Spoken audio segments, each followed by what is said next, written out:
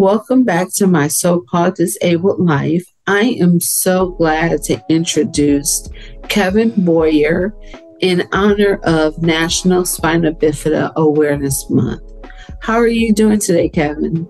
So far, so good. The weather's not cooperating, but it's Maryland. I mean, every five minutes it's changing. So it's cold right now. It could be 70 in about an hour.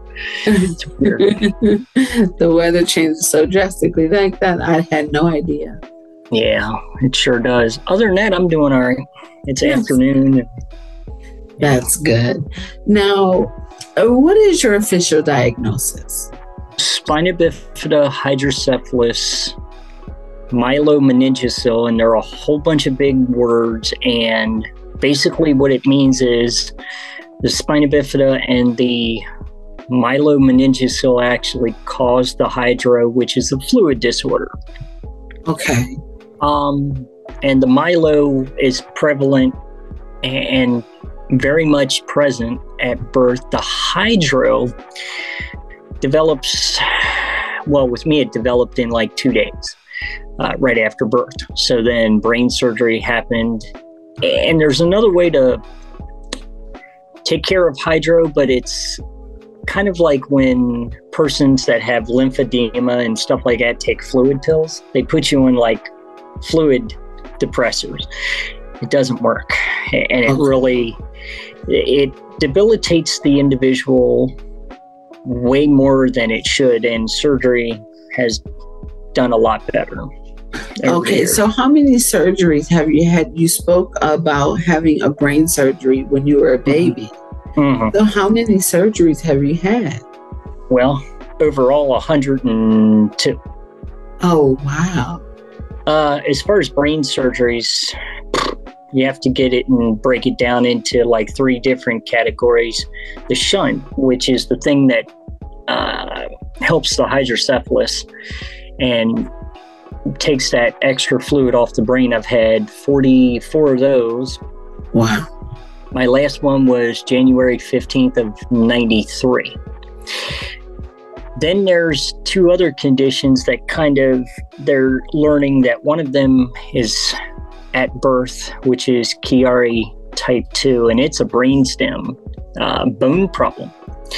I've had two of those since 2000. I had one in 2000, one in 2004. Then there's also the spinal cord thing, which is tether cord, which is not something it develops over time in your life. And I had my first one in 98, my last one in 2006, with another one in 02. So, you know, brain surgery wise, I've had, if you count them all up, like 48, 49. Wow. Yeah. So yours um, is your actual stem. Now, give us an idea of exactly what spina bifida is. Well, it's a disorder that's uh, pronounced nowadays and announced in first late first trimester x uh, the first couple weeks of the second trimester of the opening at the spine it's an opening that literally it's just like a hole in the spine. Um, mine was at the base of my spine. They can and have seen these openings up in the middle of your back and even all the way up in towards your skull.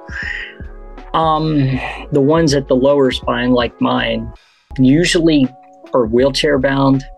There's 3% that walk out of the populace of Earth and spina bifida only happens one in every 126 to 127,000 newborns a year okay. worldwide. In the United States, I think they there's like anywhere from 800 to 3,000 born in the whole United States a year. Okay. Um, and even with new advances of knowing that you're going to have a baby with spina bifida, back in the 70s, they didn't have these things. They they did not have these things, and be, even before that, it was archaic. Um, now, what things are you talking about that they have well, now? The 3D ultrasound they have, and also an enzyme test that they can do while you're pregnant.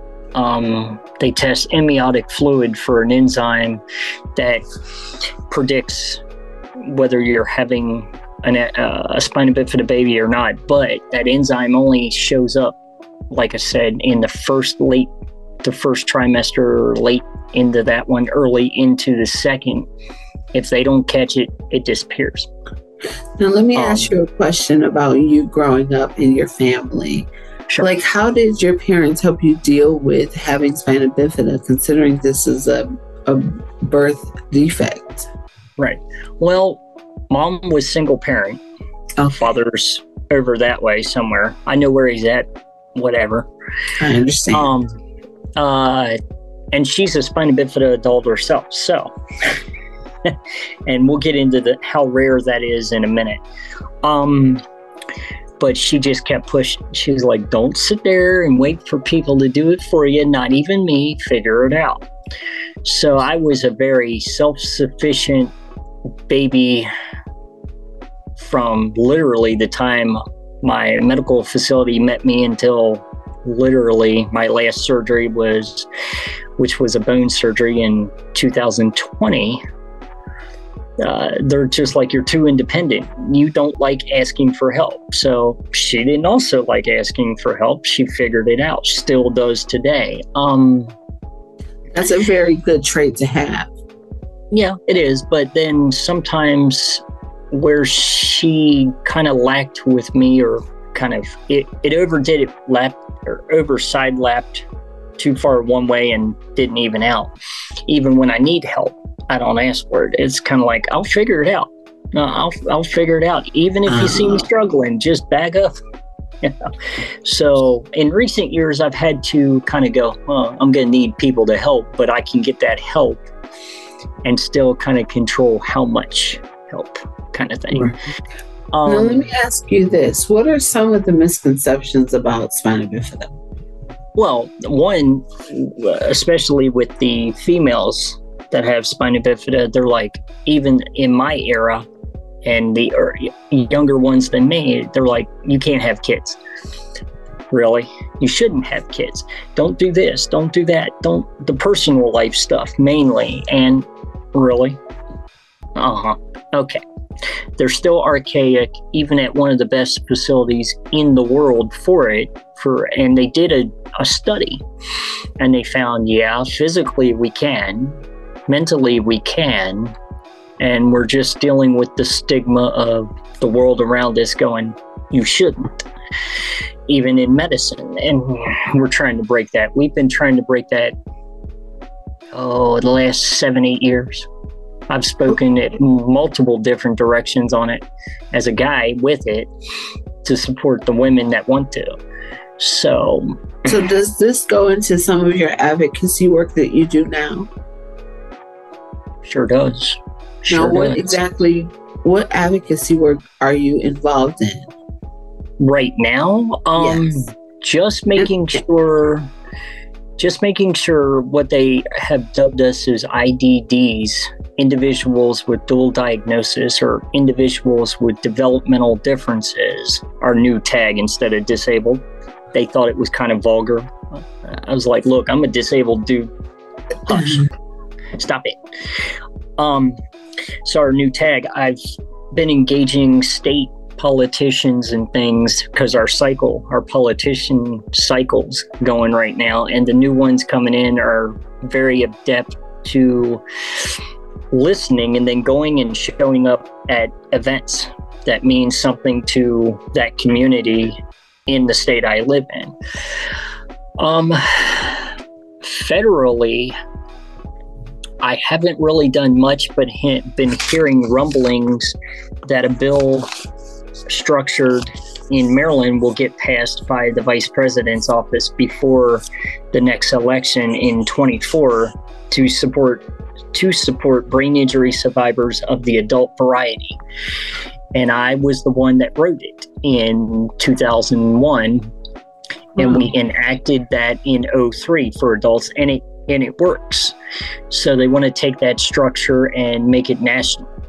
And that's what I've been hearing that the vice president's working on. I haven't confirmed it yet, but I haven't really tried. You know, if That's I want to, very impressive. yeah. So, other than that, I just advocate for myself through my medical struggles when I go to the doctor, things of this nature, and they understand. But I have recently had to clean house with medical professionals and get new ones that understand better, and I don't have to struggle to explain as much as I would with these ones I'm getting rid of or replacing. So It is very interesting when you have more of a specialist who Oh, yeah. specializes in exactly what you have. It, they're so hard to find, but mm-hmm. once you do, your communication will change dramatically. Right. Do want to thank you for coming on to our show and telling us about your experience. Mhm. I really appreciate it, Kevin. Thank you Okay. so much. Could we count on you to be on one of our future shows? Oh yeah, yeah, yeah. Do whatever subjects keep in touch with me. You know where to find me. Um, about whatever facet of anything, and if I figure out something that you may want to do that you know I'm into or something, I'll hit you up. Kevin Boyer is a living advocate and helpmate. I will say that he is an expert because from experience and then as actually from learning, and I only can admire that. Thank you so much, Kevin. Have Thank a you. great day. You too. Thanks so much.